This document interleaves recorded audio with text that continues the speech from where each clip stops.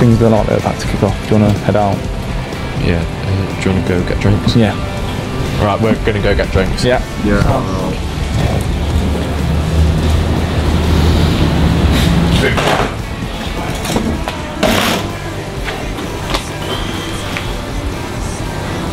I don't know what's going on, man. I can't understand this feeling. You've said some really weird things today. It's like you've finally lost it. Yeah, I know. How'd you work that one out, Einstein? Hang on, there's no need to be an arse, Michael.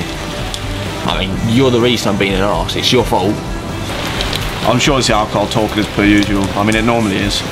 Really, I'm losing my mind here, and you want to insult me? Why should I stay with you when all you do is start fires constantly? Well, no one's making you stay with me, are they? Who, who- who's that then? He's cheating on me. You moved on already? It's just Ollie, Jesus Christ, not everything's about you. Yeah, sure, it's just Ollie. That's what they all say. Once again, you're playing the victim. You always do. Are, you seriously playing the victim right now? You're literally cheating in front of me. Right, we're here at a festival with our mates, and you're being the biggest tosser you've ever been. That's it, we're done now, we're done. It's finished. Me, a tosser, are you having a laugh? Have you seen yourself? You, you seriously think we're over? Are you having a laugh? You know, I wish I was having a laugh. You need to get a grip. You need to see the situation for what it is. This is over. It happens way too often. What, what are you on about? Don't don't be an idiot. You know exactly what I mean.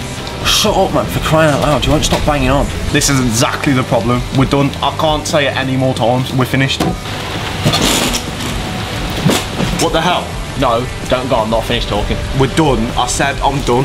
No, let me talk. Just listen, man. You didn't hear me right. I said I'm fucking leaving.